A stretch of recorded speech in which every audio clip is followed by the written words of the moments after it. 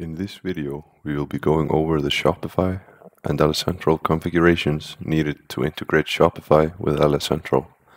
We will also give a short overview of scheduler jobs, code units, and the Shopify API. We will start with the Shopify configuration using the admin page. Go to the settings, apps and sales channels, press develop apps, and then create an app. You can name the app to your liking. Uh, we will name it LS Central here. After you've created the app, the first step is to go into its configuration and configuring the admin API integration to make it include the scope shown in the image from Online Help at the bottom right of your screen. We can now save this and then we need to check if the webhook version is set to the latest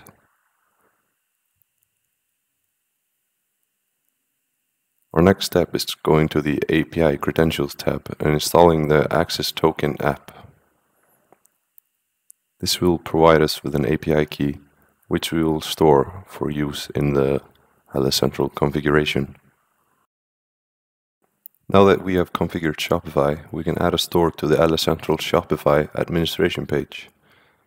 We select the store code of the LS Central store that is to be assigned as a Shopify store. The Shopify API URL consists of the webhook version and then the store name. The webhook version is the last piece of the URL.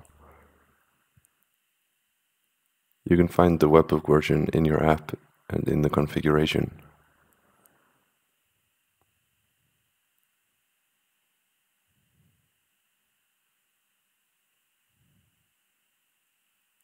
Next up is pasting the API key that we saved earlier on.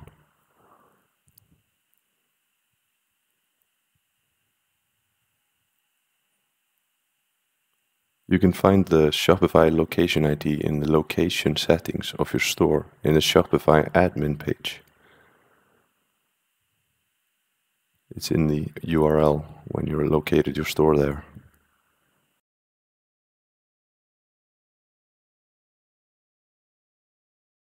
The next configurations are checkboxes that are conditional to your store needs. You can see them here in this image from the online help in better detail. These include denying out of stock shopping, including tags and prices, including the item HTML, and more.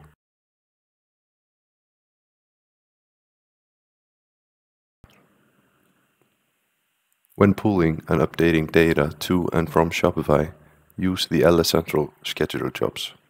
On screen, you can see these jobs. They can also be found in the online help.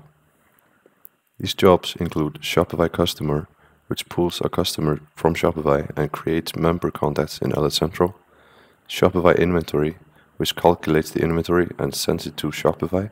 Shopify Item sends items and variants as products to Shopify. If a boolean value is true, then images are included as well. Shopify Order pulls the orders from Shopify and creates customer orders in LS Central. And lastly, Shopify Price updates the price in Shopify, which also includes standard discount offers if selected.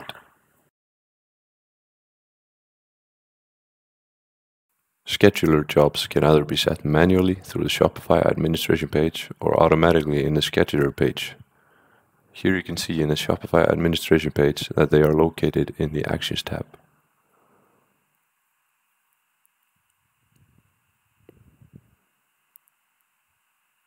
Now we head over to the scheduler page and locate the Shopify scheduler jobs. Let's take an example of the Shopify inventory scheduler job. We can set it to minutes. And let's say every 45 minutes it will push inventory over to Shopify. And then you can set the next check time to however you like. Partners can take over events seen here from the online help to modify the behavior of Shopify code.